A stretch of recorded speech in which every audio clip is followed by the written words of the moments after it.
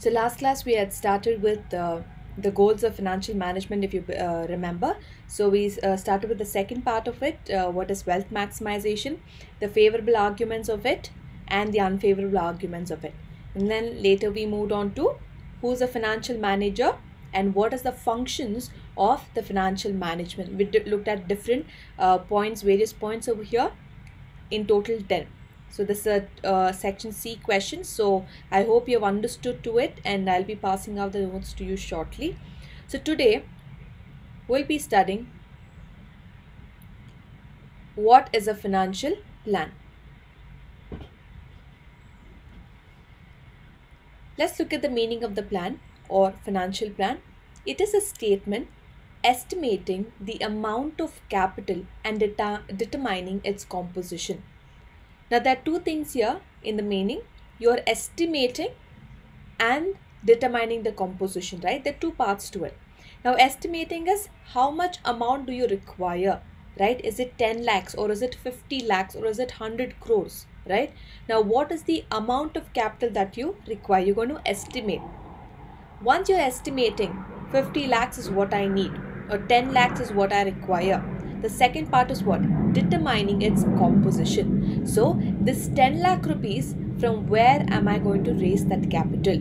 Either it's going to be I'm going to take a 10 lakh rupees loan from a bank, or I'm going to have debentures, or 50% debentures and 50% of equity shareholders. Okay, so depending on my credit worthiness or my financial uh, resources, companies, when I say mine, I, I'm meaning or I'm uh, pointing out it's a company's capability.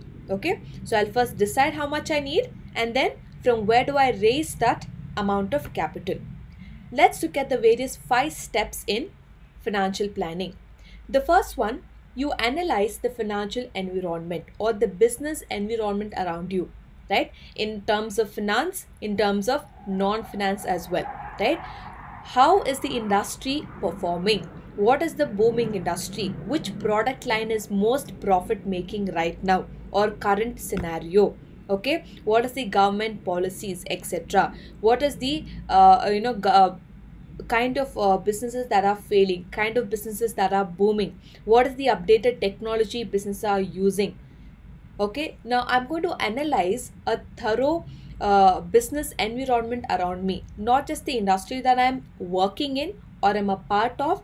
If i'm into software i might check infosys wipro accenture etc i will look into software participants. If i'm into uh, uh, you know manufacture of smartphones or mobile phones if i'm you know producing oppo okay my company is oppo. I'll be looking at what vivo is doing right? The company vivo. What is company samsung doing? What is company oneplus doing? So I'm going to analyze the business environment, the pros and the cons. I need to be aware of both the positive side of my business environment and the negative side of it. The second step to financial plan is I need to develop financial goal which is very very prominent in this perspective because I need to analyze if I'm taking 5 lakh rupees of debenture and I'm promising them 10% rate of interest that I will pay them periodically I need to understand whether my company or am I capable enough to repay them back. Now, you very well remember what are the rights of debenture holders? Do they have the right to join the meeting in the uh, annual general meeting? No. Do they have the right to make any choices or decisions? No. But what is the ultimate right? It is the right on the assets of company. If I as a company fail to make their interest payment, debenture holders have a right on the assets of the company. They can sell the company assets, recover their amount of money. Is that clear? So, do uh, does any company want that to happen? Definitely no. So, I need to first develop the right financial goals. This is my profit margin. This is my investment or this is my expenditure or cost. So, I need to budget things before I actually make a plan. So, I need to know what my goal is.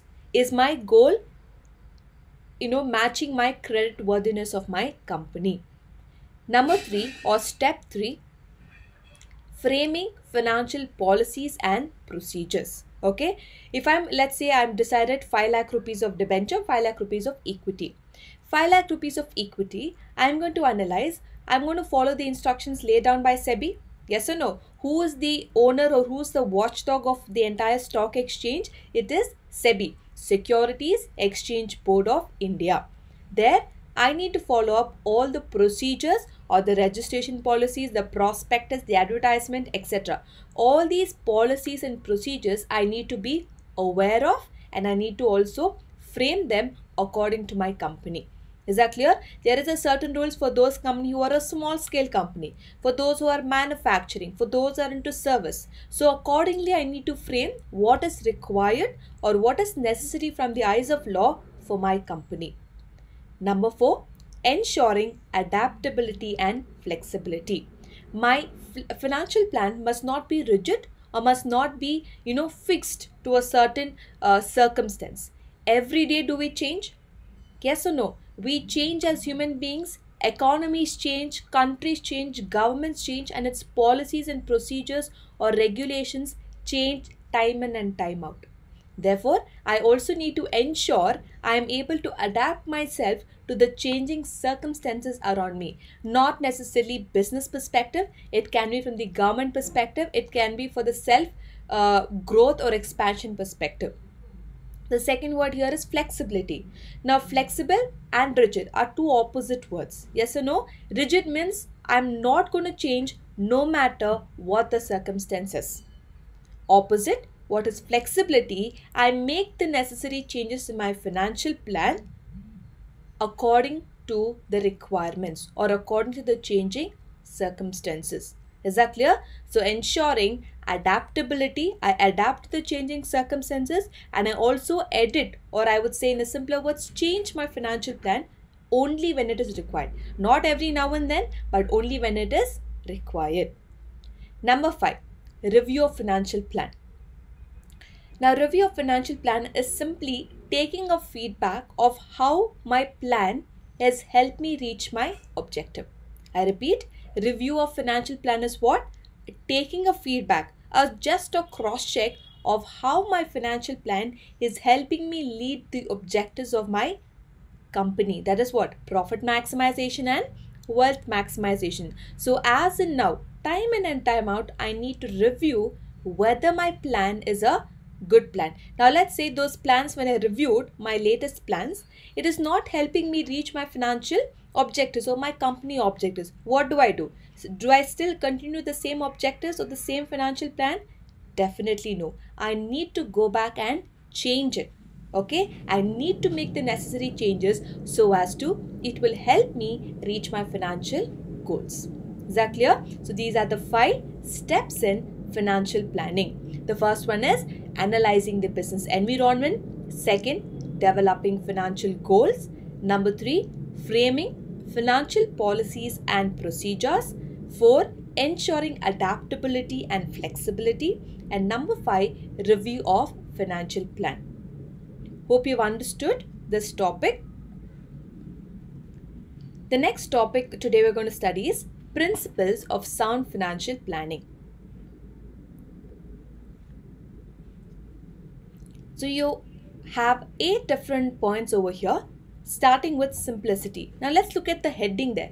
Principles means what? The right things or the perfect things of what? Sound financial planning. If my financial plan has to be a good one or an efficient one, what are the things I need to consider? Number one, I need to consider is it has to be simple, right? If I'm going to make a plan, and it's too much uh, uh, you know complicated and only i can understand. Because i made that plan i will understand it. But the same thing if i'm going to uh, show it to you and ask you what have you understood of it you will just say i'm confused. Right? Now if it is so complicating and so confusing you will definitely not understand it. So the first aim of financial plan or the first principle of financial plan must it must be simple.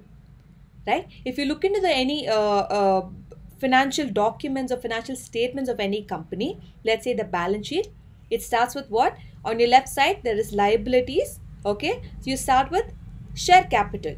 So you're going to start with equity share capital if they have and debentures if they have, etc. If I'm going to have too many things in that capital structure, definitely government is going to intervene why do you have so many sources of capital where is the money coming from or what for what purpose are you using that money etc. Right? So, to avoid all these confusions, let's make a financial plan simple. Okay? Easy to understand to any layman who looks into it. Second, foresightedness. As I told, nobody is going to start the business for what? One year. Today, I'm going to start the business with the perspective of after one month, I'm going to shut down this business. Does any businessman think this way? No. Anybody who's starting the business will always look into the future. I want to grow. I want to expand my business. I want to start more branches, etc. Okay, so your financial plan must not be for one financial year but for the upcoming financial years. Number three is flexibility. I just discussed with you, right? Flexible means making the changes only when necessary or only when required. Liquidity. Liquidity is the amount of liquid cash. If you can see that picture over there, right? From the jar, there is money flowing out in the form of water. That means that is the liquid cash that is able to make your immediate payment requirements. Liquidity is the amount of money required to make sure your immediate payments are fulfilled or payments are completed. If you have to pay wages to your laborers or you have to pay your electricity bills for your godown or for your uh, uh, you know company etc. You have to make that payment immediately. Is that clear? So liquidity is the amount of capital required to meet your day-to-day -day commitments or payment commitments. Number five, economy. Remember, whenever this economy comes into picture, I'm talking about the cost of raising of capital. Okay, cost of economy means cost of capital or cost of raising the capital. Now here i'm looking uh, uh, just now we discussed about the example of if i need 10 lakh rupees and 5 lakh i'm raising through debenture and 5 lakh i'm raising through equity. Now i have to look into it whether is it economical for my company. If i'm going to raise too much of debenture what did i tell you? The right of debenture holders is in case I fail to make the payment, they will come sell my assets and take that money away from me. They don't even have to ask me, right? So that is the right of debenture holders because what? When they gave me money and I promised them interest, I'm promising them basically, irrespective I earn profit or I earn loss, I will pay you 10% interest. So when I'm saying that word, I need to keep that up because debentures have the rights. If you don't keep up that word or don't give me the promise returns, I will come, sell your assets and recover my money. On the other side, what if there's too much of equity? If there's any decision to be made by two people, as a uh, com uh, combined two people, two people are different, two people's thought process are different. To come into a common decision making, both of them will have a clash of decision Yes or no? If to make a common decision, if two people are struggling, if it's a challenging one to make a decision, imagine all the 10 lakh rupees I'm raising through equity and there are going to be so many equity shareholders. And what is the one of the promising rights of equity shareholders is they can make decisions for the business. Yes or no? They can make decisions for the business. Can all of them make decisions? Do you think all of those decisions are very sound decisions? And that will help company grow? Definitely not. So if you're having too much of equity your decision making of the company is going to be hampered or going to be affected. On the other side if it is too much of debenture or uh, the composition of debenture is more than equity then there is a huge financial risk. So for the economy purpose or to keep your cost of capital low have a equal or an optimum share capital or I would say capital structure of equity and debenture. Have both in the equal sense depending upon what your credit worthiness is as a company. Sixth one, optimum use. So let's say I've uh, taken 5 lakh from debenture and 5 lakh from equity. I've raised it, completed. All the legal procedures are completed. Now, 10 lakh rupees is in my hand. Now, it is up to me as a company how am I going to make use of this money? Am I going to buy fixed assets or I'm going to um, keep a money aside for reserves, keep money aside for uh, working capital, keep money aside for my payments, etc. How am I going to use this money? Optimum meaning maximum usage. Okay, so this 10 lakh rupees I must put into the maximum benefit, put into various investment areas where I will reap maximum benefit. So, optimum use is making the maximum benefit or usage out of the available financial resources. If I'm thinking tomorrow some emergency might come, only 5 lakh I will invest, other 5 lakh I will just keep it as an idle cash. Is that going to work? Definitely it's not a sound decision, right? I need to analyze and then make choices. I just can't keep that 5 lakh for almost 1 to 2 years idly just in my account not making any kind of investment, not bearing any kind of interest. It is absolutely a foolish decision.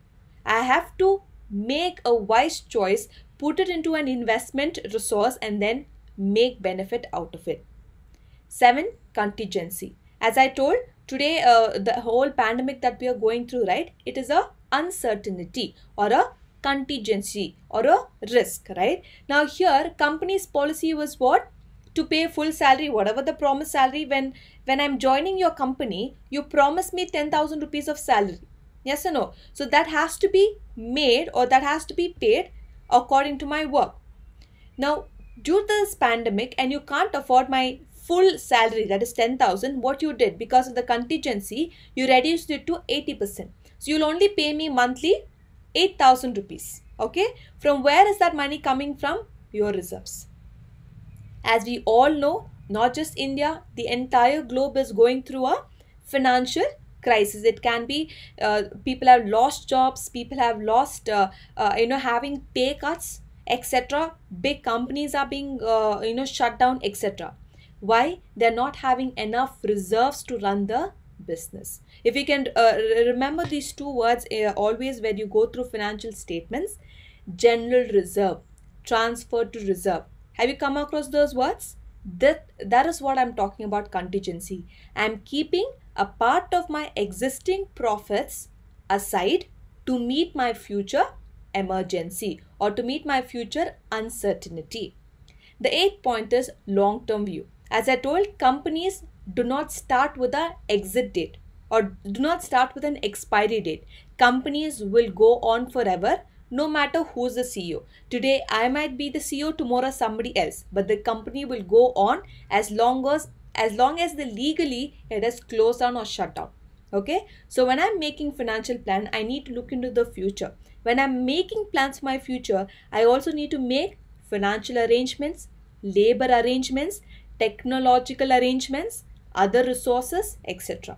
Not just plan, I also need to make the resources available for my upcoming financial years, that is in the future. So these are the eight principles of sound financial planning. Simplicity, foresight, flexibility, liquidity, economy, optimum use, contingency and long-term view. Hope you have understood these points.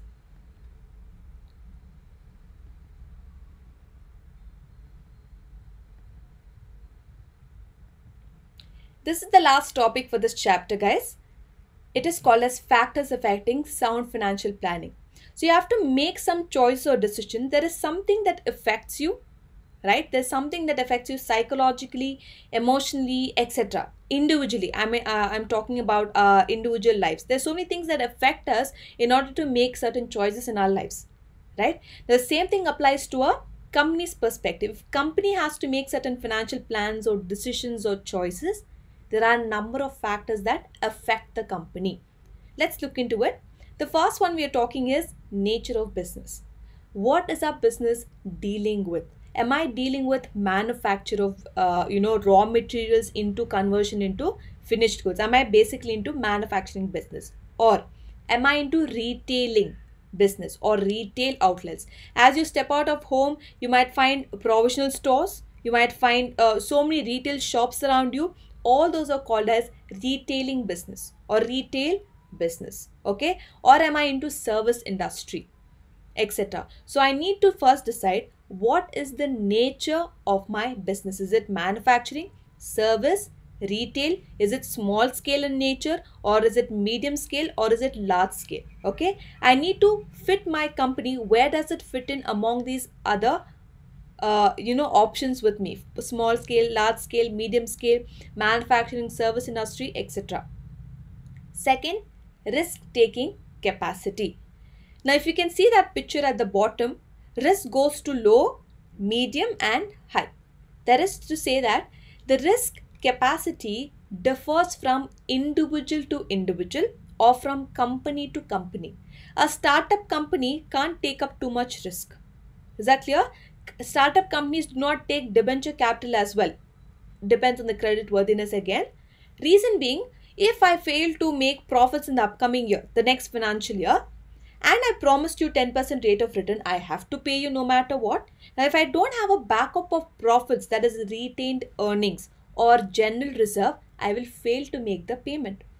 Yes or no? So, therefore, the risk taking capacity will also differ from industry to industry or organization to organization. Organizations that have just started up, like two, three years in the business, they can't take up much risk. But for people who are into 50 years into business or 100 years of completing a business enterprise or an industry, they are ready to take up even high risk. Only reason is they have a backup of what? Previous earned profits or retained earnings. Is that clear? Number three, position of the firm. So I need to check where am I in my respective business industry. For example, if I'm dealing with, uh, uh, as I told, manufacture of uh, mobile phones or smartphones, right? There's Oppo, Vivo, Samsung, OnePlus. There's so many other Micromax. So many, uh, you know, mobile phone manufacturers. Okay. Among that, there's also rating given based on how many people buy the phone, what are the features of the phone, what is the amount of profits the manufacturing phone company is making, etc. So I need to check where is my position. Am I a just a uh, you know startup or an initiator into the industry, or am I the leading company in the particular industry? now i'm talking about smartphone business right so here let's say oneplus is uh, uh, currently to my knowledge at least is one of the best phones or is one of the best having features etc so the position of oneplus firm is on the top or on the leadership position. And then comes on the other phone smartphone manufacturing companies. So again depending upon the where do i stand in the industry uh, industry's perspective i also need to decide my financial plan Number four, study of financial markets. Now, this 10 lakh rupees that I have, uh, uh, you know, taken from debenture as well as equity, I also need to study my financial markets. If you can look into that picture over there, you will see equity market, investment, derivatives, finance, secondary market, return, risk, etc. What you need to consider here is if I'm putting this 10 lakh rupees into an investment avenue or into an investment resource, how much return am I getting, which is risky and which is riskless. Now, usually uh, what we understand is all the government securities or bonds are less risky or I would say there's no risk at all compared to all the private securities like equity or uh, uh, you know bonds given up by the private companies or private banks banks all those are what risky or i would say has more amount of risk. So I need to understand and study and have an awareness of what is the financial market or where are the investment avenues available for the company. Again, with two perspective. Before I to invest, I need to look into two R's. Okay, it's called maybe as for commonly called as R square also. I need to look into the risk perspective. I need to look into the return perspective. How much return am I expecting? For which? How much risk am I ready to take up. Okay, return and risk goes together. If there is higher return, there'll be higher risk. If there's low return, there's going to be low risk.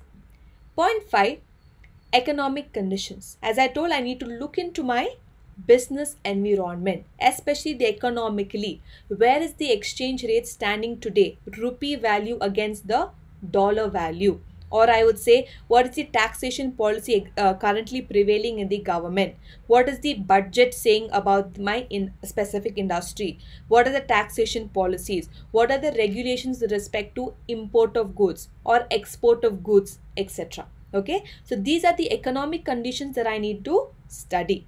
Number six is future plans. So I also need to check about not just my current financial year but all the upcoming financial or my future plans what all I need to be studying or what all I need to be taking care of technologically, labor, capital, all other kinds of resources I need to plan with the perspective of my not just current financial year but also the upcoming financial years.